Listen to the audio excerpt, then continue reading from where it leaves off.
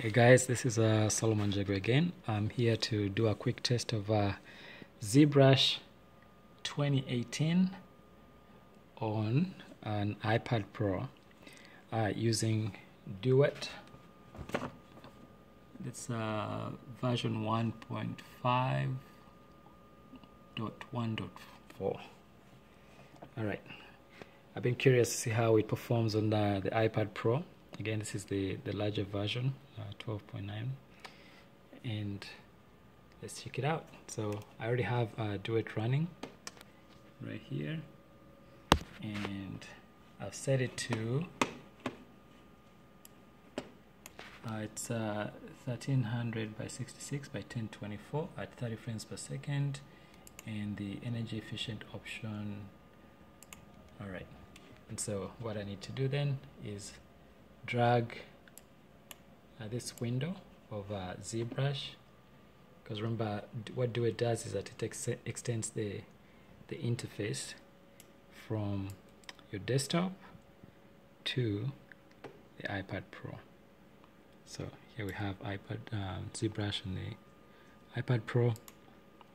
And uh, let me get my pencil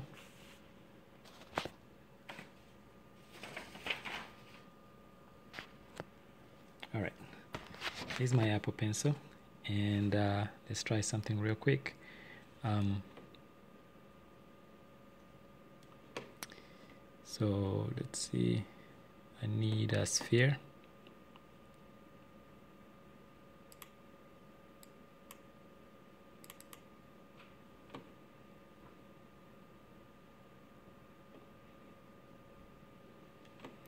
uh, I have 13 66 okay.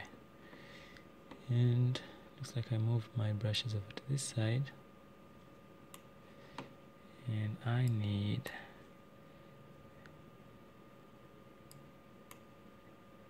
lightbox oh here's an example I'd done but let's try let's try a new document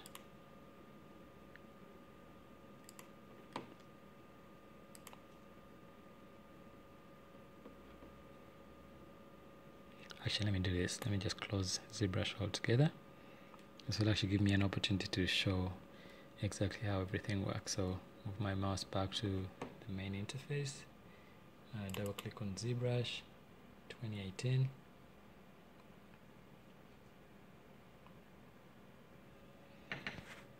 wait for it to load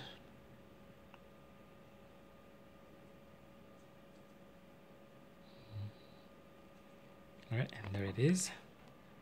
2018 in all its glory. We're gonna see if it works on the iPad Pro. Okay, uh, let's close that. To Lightbox. I need a simple sphere, really. Alright.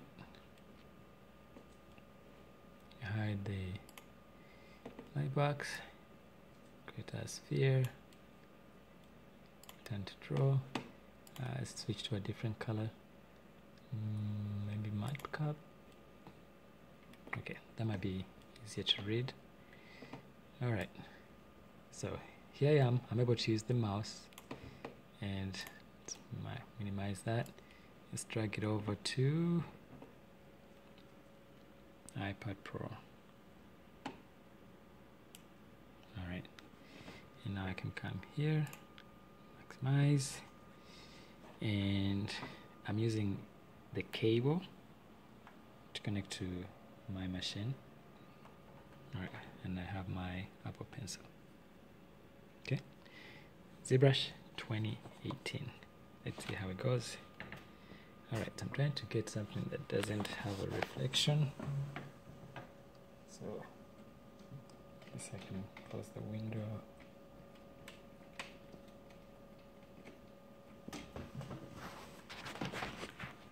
all right so one of the key things that they've added is uh, Sculptris Pro right, right right there. And I want to see how it works. First going to geometry. Uh, we're gonna get delete lower. So we'll start off with uh, this kind of mesh right? Now the beauty of uh, okay the new feature in uh, ZBrush uh, 2018 was the ability to add uh, detail in localized areas and not like dynamesh everything or subdivide everything. And I wanted to see how this performs on the iPad Pro. So here we are. We are able to rotate. And also I've, I'll answer the question of uh, whether this has uh, pressure sensitivity. Okay. So let's start with the clay builder brush and let's see if it's able to actually add detail as they were talking about so localized. So maybe I just want to create my name just right here. So clay build up. So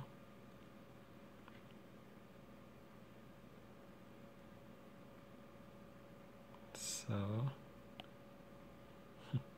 look at that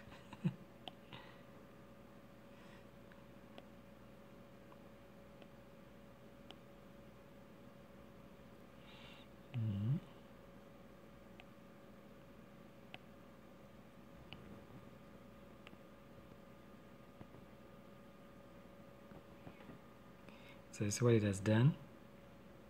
So you have detail in this area right here and that depends on uh, also the size of the brush. So if I take it like really low over here size of the brush and I start to add detail.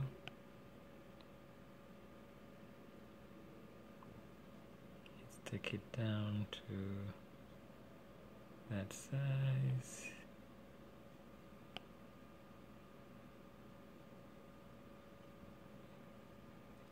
can see the detail being added.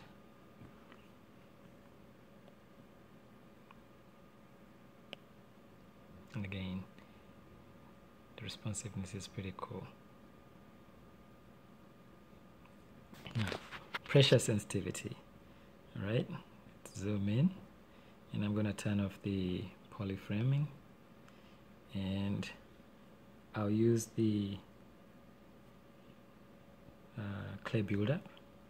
So people were wondering if this actually has pressure sensitivity. So the idea was that if I were to draw something here, does it taper off and as I press harder, does it get bigger? So I'll do that.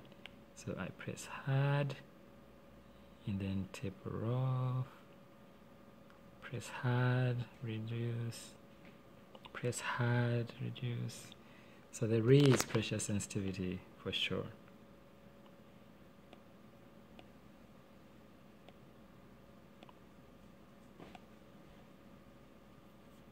And I'll use uh, the standard brush that might give us a better idea. Increase uh, density. And let's draw the draw size. So that's a so you see how it tapers off. Pressure low high pressure so there's the pressure sensitivity that uh, guys have been asking about of uh, the iPad Pro with Apple Pencil and using uh, Duet and ZBrush. And this is ZBrush 2018 so if I turn on the polyframe you can see how the detail is in localized areas. And another cool brush that I can use is uh, uh, the snake brush. Is narrowed down to the S. So snake brush we use um, snake hook 2 that guy. And we can turn off the polyframing. And this is guys you gotta remember this is an iPad Pro. This is not a Cintiq. This is the iPad Pro that I'm able to do all this on look at that. And I can twirl. Look at that. And if I do polyframe again so you can see so an area like here for example where there's no detail whatsoever I can add a, a snake hook and automatically detail is added. And so if this were like a trunk of a, a tree I can then get the clay builder brush increase the intensity and draw size and then start drawing. So adding like some kind of root system. And increase the draw size again like that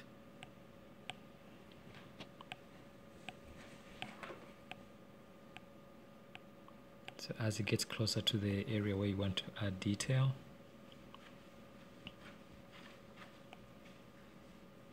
You can see how automatically it's adding the detail. And let's decrease the draw size. And you can see how that detail has been added like right there. And this is an Apple Pencil people on the iPad Pro. How cool is that right? So yes. If you have an iPad Pro guys and you have ZBrush 2018 it does work. It absolutely works. So enjoy. And let me see if I can actually do something like detailed here like a, a face. So clay build up size intensity all the way up. So let's create like some that's too small. Let's increase it. Alright so if these are eyebrows and mirror is not activated because I don't need it right now.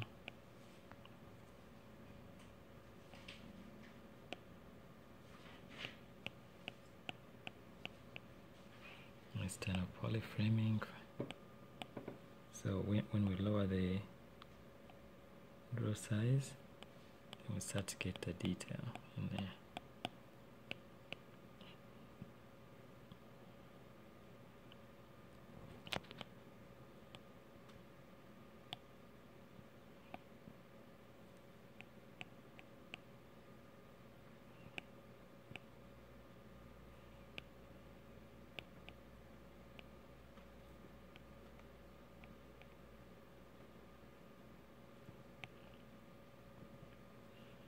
increase the intensity.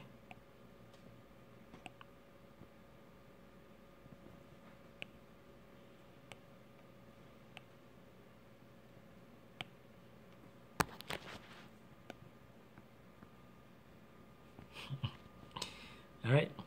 And don't forget to subscribe to my uh, channel and uh, comments are welcome. Um, if you if you have the uh, iPad Pro and you have an Apple Pencil and you have ZBrush 2018 uh, let me know how it works for you.